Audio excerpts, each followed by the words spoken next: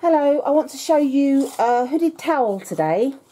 Um, I haven't found many places that tell me what size towel to use. So it's been trial and error. My first ever hooded towel I made so huge the hood would have fitted a baby elephant.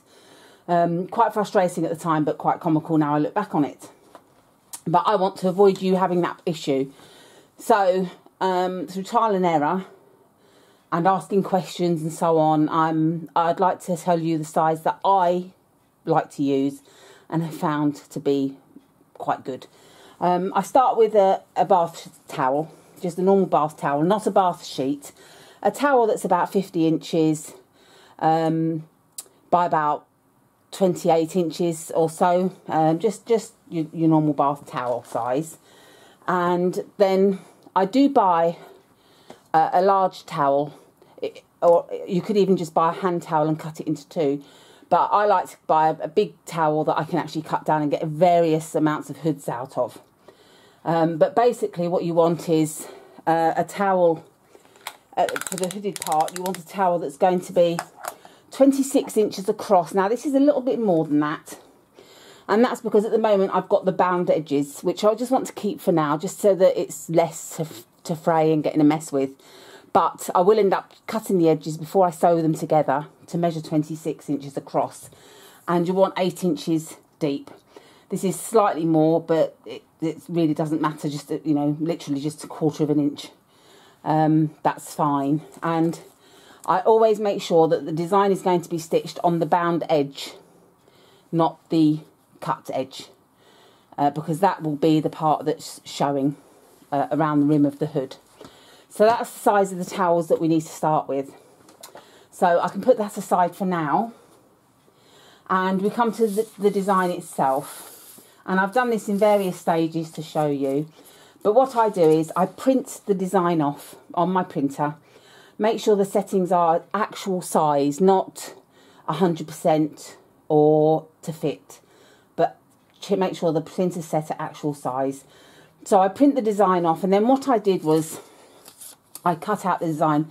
Before I did, however, cut out the design, I marked arrows to show north on the circles that I've cut out and then inward lines for the right and left going inwards just to remind me of what pieces where and it will come relevant in a moment so I just wanted to show you what it looked like when it was printed off and then cut out now obviously that's the outer circle which will be the goggles of the one-eyed monster this will be the pupil of the one-eyed monster. Sorry, not the pupil, the actual whole eye.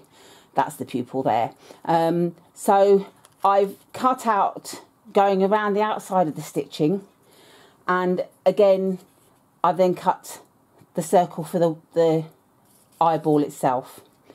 And then what I've done is I find it very handy to draw around onto freezer paper good old Reynolds freezer paper, which you can get from all places. This is absolutely fantastic. I live and die by this for applique. It's so handy to have. You iron it on the fabric, which allows you to then cut the shape out uh, for the exact size you need. You can actually even print onto it. If you cut it into an A4 size, or you can buy it ready cut into A4 sheets, you can print onto it directly. But I find it more economical to use it this way by printing onto A4 paper and cutting the shapes out so I'm not using whole sheets of the um, freezer paper.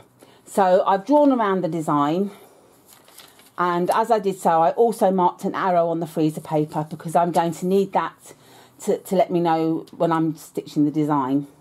So I've cut all the relevant shapes out roughly. I haven't done it perfectly because I'm going to iron it onto the fabric that I'm using for the applique and then I will cut round it. Again, that will become relevant as to why I haven't done it at this stage. Now, also for applique, I like to use uh, Heat and Bond um, yeah, Heat and Bond iron-on adhesive, sorry. Um, it's the sewable one, not the non-sewable one, because you are going to be sewing with it.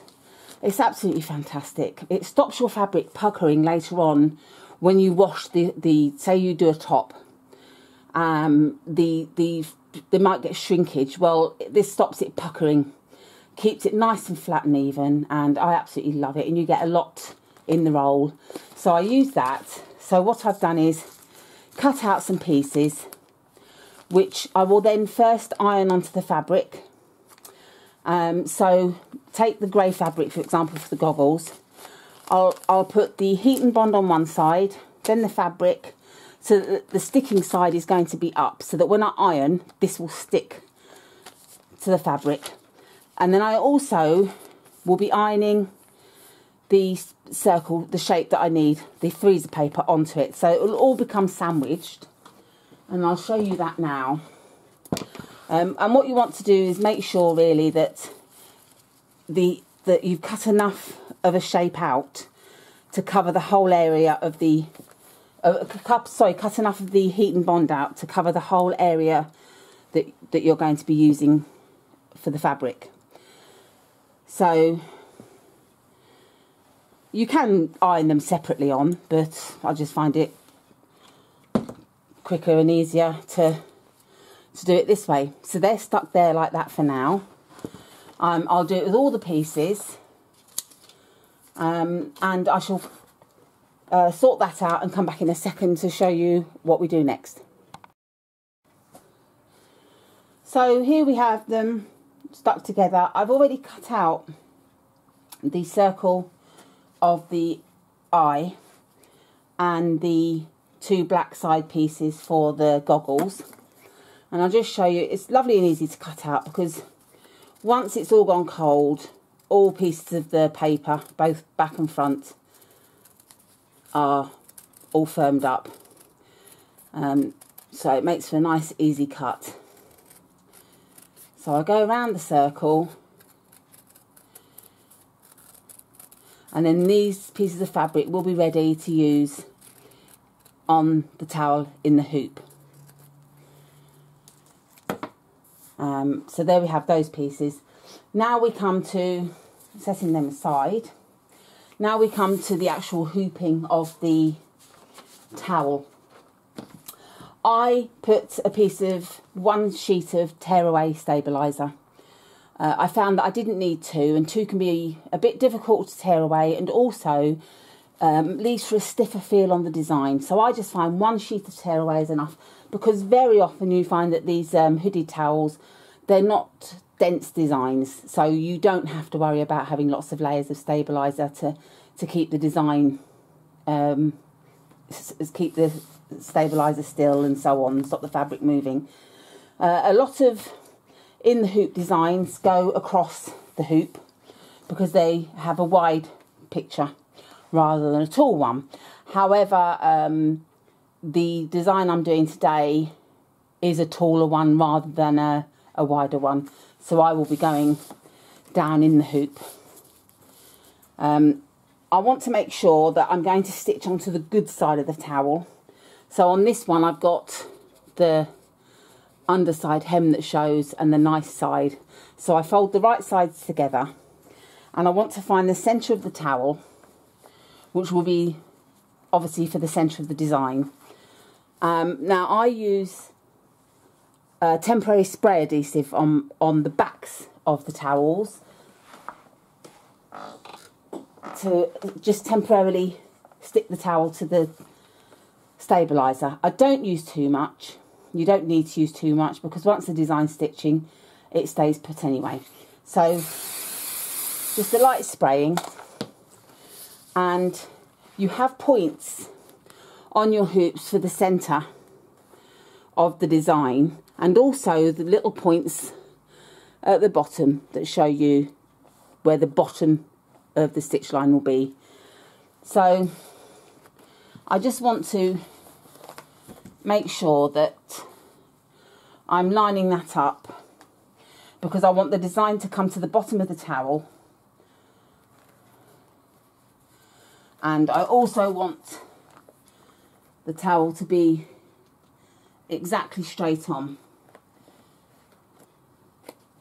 And that looks fairly straight to me.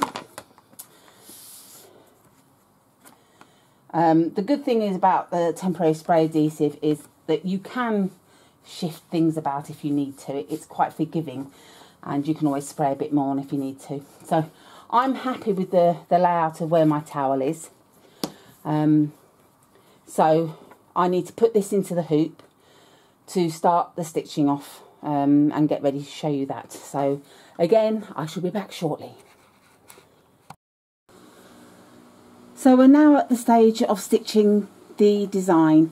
Uh, normally when you use towels or other fabrics such as um, jersey, knits and so on, you would normally use a layer of water-soluble Solvy on the top to keep the stitches above the fabric pile uh, rather than if you don't use it they can sink in.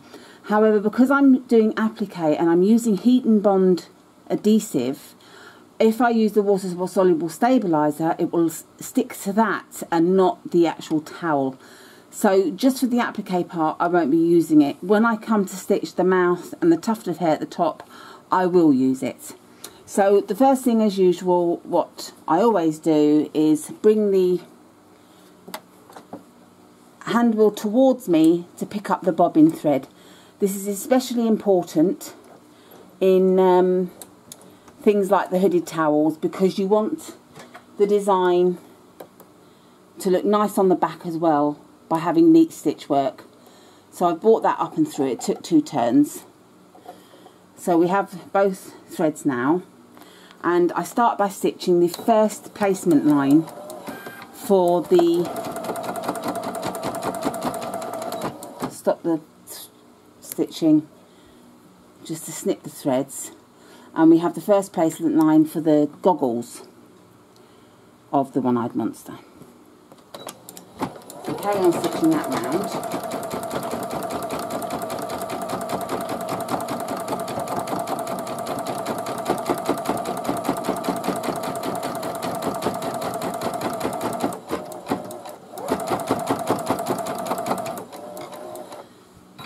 And now what I will do is take it over to my ironing board iron, you peel off the, the back of the heat and bond um, adhesive and you see a shiny side and I will iron that on. I can also take the freezer paper off at this stage uh, because I know which way it's going now.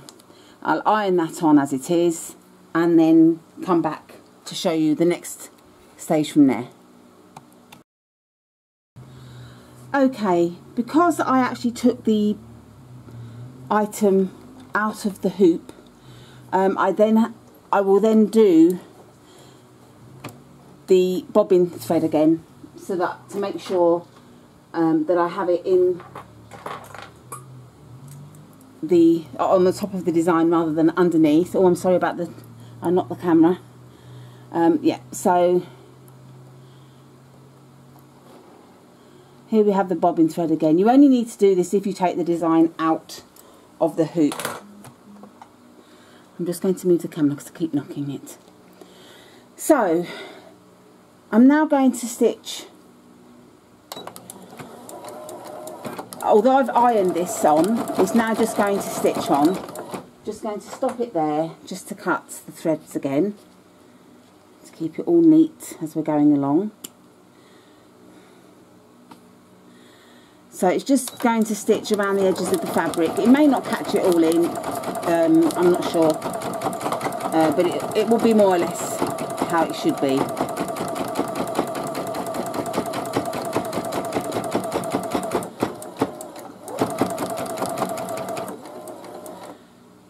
Okay, now the next step will be to stitch the inner circle.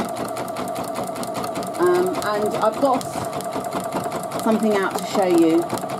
Um, I thought I'd take this opportune moment to show you something that I bought. So there we have the placement line for the inner circle, which will be stitched in grey also. Um, now, I once bought um, a little tiny hand iron. It was like a, a curling tong type iron. The one I bought was actually made by Clover. I didn't find that it got hot enough for what I wanted and I found it a bit of a faff one to be honest with you. But I'm not saying it was that particular iron. Um, I'm just saying that I don't get on with them. Uh, plenty of people I know do but I preferred the heat of a, a normal iron. But I bought a handy little travel iron which is just lovely to use in the hoop as such. So I'm just going to turn the move that back a little bit. Now I have the circle disc of the middle. And if I just peel off the back of the heat and bond paper so that I'm left if it will come away. Ah, that's got it. So that I'm left again with the shiny side. And the arrow showing me upwards so I roughly know where I am now with that. And I can also see with the placement stitches so I'm covering all the placement stitches and I use my handy little travel iron. I haven't had to bring the whole design off the, out of the machine. So that's got it. That's all bonded nicely. So I can just slide it back into the machine, pull the thread tighter again, and then carry on stitching. So I'm now going to put that line down to stitch the fabric on. Nice and easy. Haven't had to take it out of the hoop or mess about like that. It's a very handy little thing. It's just a simple travel iron that I bought from uh, a good shop uh, for five pounds. So it's it's really good price. So now I've got to change the thread to black to stitch the square placement lines for the side parts of the goggles. So I'm going to change threads and be back shortly. I have just placed the first uh, placement line for the black strap for the goggles. Um, so I've now got the piece of fabric that I want for that side which I should just show you again taking the heat and bond back off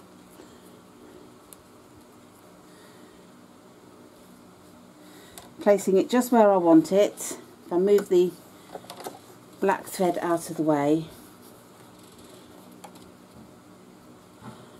I can then take the top paper off for the freezer paper and just iron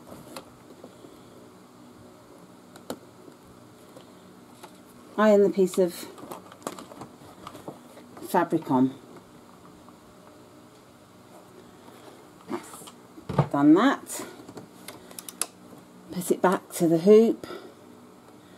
And then it's just going to stitch it in place.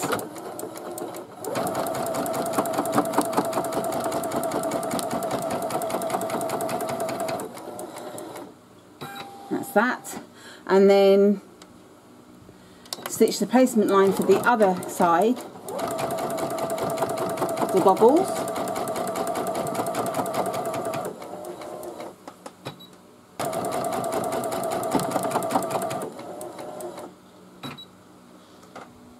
and now we're going to stitch the satin stitch around the black.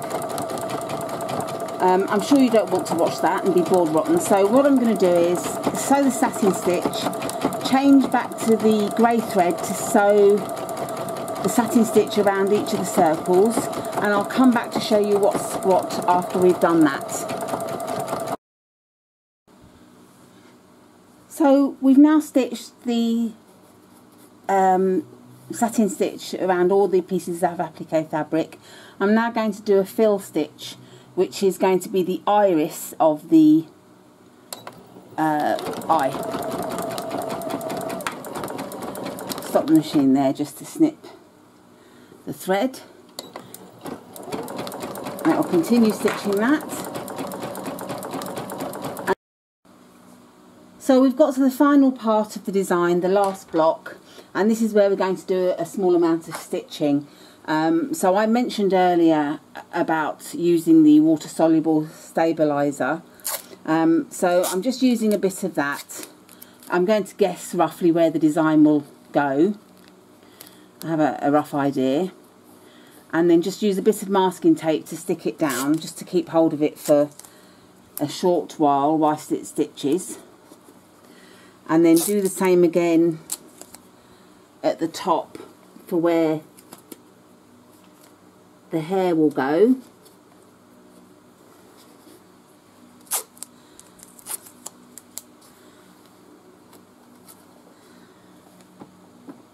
And then start stitching.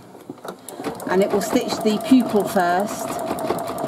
And then again I'll come back afterwards and show you the finished stitch out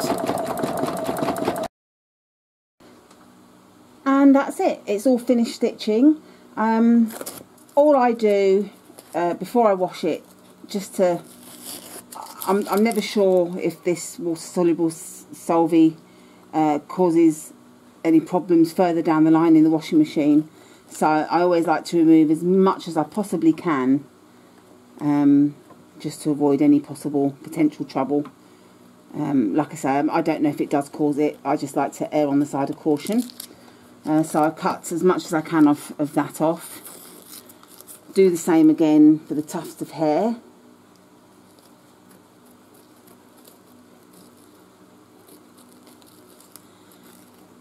and um, then we're ready to compile it and put it together with the bottom half of the towel to then uh, have the finished article. Okay, so I've finished my design. It's all ready to go uh, to be stitched to the other part of the towel. Um, but at the beginning, you may remember I did say that it was slightly longer than 26 inches. So now that I've I'm ready to sew, I'm going to trim the two ends. So I meet them together to make sure that I have got an equal amount off each end. And because it's meant to be 26 inches, I've got my trusty big quilting ruler and I'll measure 13 inches go to the 13 inches so that I've got that left hanging and just use my trusty uh, rotary cutter I don't know how anyone coped without these I absolutely love mine and if you haven't got one, I highly recommend you do go and get one. So that's the towel trimmed off. And fingers crossed, it will now measure 26 inches across.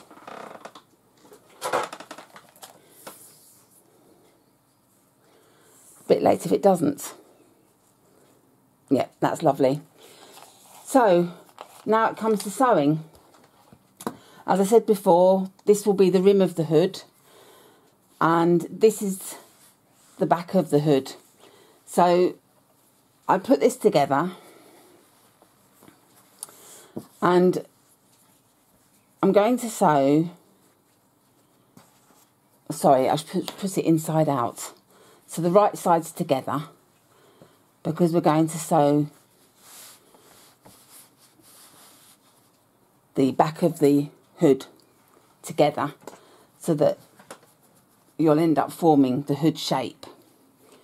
So I'm just going to clip them and then come back and show you a bit more detailed. So that's all clipped ready to go into the sewing machine and just um, firstly I'll do a running stitch down the edge just to get it to go together and then I'll do zigzag stitch uh, which will reinforce the stitching and also seal the edges of the towel to stop it fraying further. I do have an overlocker and ordinarily I would use the overlocker to keep a nice neat finish but many of you don't have it so I thought I should really show you using it without the overlocker um, so that's that's what I've done and as you can see this is inside out but that's going to be the shape of the hood and this is the edge that will be attached to the bottom half of the towel, the actual bath towel. Um, so I'm going to sew this edging and then show you what we'll do after that. Okay, so I've sewn the edge together of the hood, nice and neat. And if I turn it the right side out, you'll see there's our little hood ready to go to the towel. So now for attaching the hood to the towel, um, you need to make sure that you're correct. You're putting it to the right side. Um, now, I've made this towel for my granddaughter Lacey, and I've actually stitched her name on the bottom of the back of the towel in the Minions alphabet. So this is going to be the right side of the towel, so I'll turn it over to the wrong side, and I need to find the middle. So if I put the wrong sides together to find the middle of the towel, and then I get a pin and I just put the pin in to the top of the corner which it doesn't want to do um, just to mark where the middle of that towel is and then I've got the middle of the towel here of the hood sorry which I then need to attach with the pin. So I've caught that. And then I'll clip along the edge. I love to use um, these Clover clips. They're absolutely brilliant, um, especially when you've got things that you don't want to pierce, such as uh, if you're working with leather. Um, you still have to be careful. They can actually, they've got slight teeth. They can still cause a bit of a mark. Um, so sometimes I might put, place a piece of uh, thin cardboard or, or some felt to stop it from leaving a mark. Um, but they're absolutely ideal to use. I, I swear by them. They're, they're quite expensive to buy, but quite a worthwhile outlay. I bought a box of 50 and they just last and last. I've not had one break on me in two years of having them. Um, so I do highly recommend them. Um, so there we have the hood ready to be sewn. Um, and I'll make sure that I'm using yellow thread for this side, blue thread for that side. What I do is I start sewing from the centre out and then I go back to the centre and sew to the other end because if I start at one end and carry on it could be that sometimes the fabric will stretch slightly or move and the centre of the hood could end up further along one way than the other. So by starting sewing in the middle and going each way, that's actually stops that problem. The hood will stay dead centre. Um, so I shall be back with that shortly and you shall see the finished product.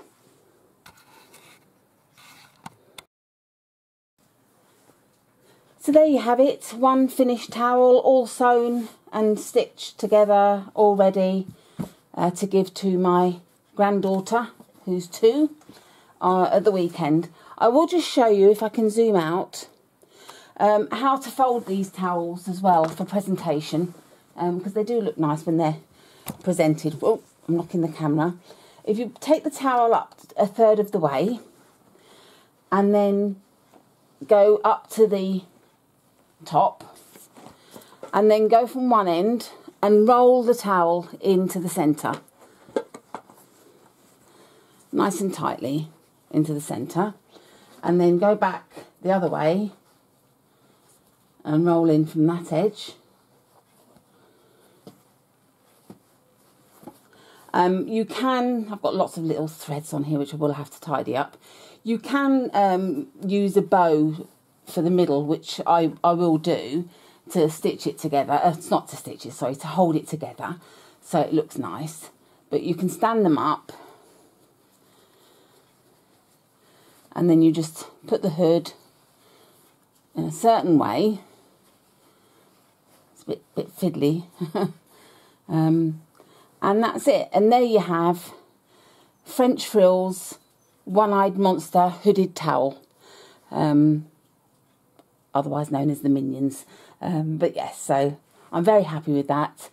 Um, I love French frill designs. They always stitch out beautifully. They have very good, great, good designs and they have plenty. Um, so I hoodie towels. And thank you for watching.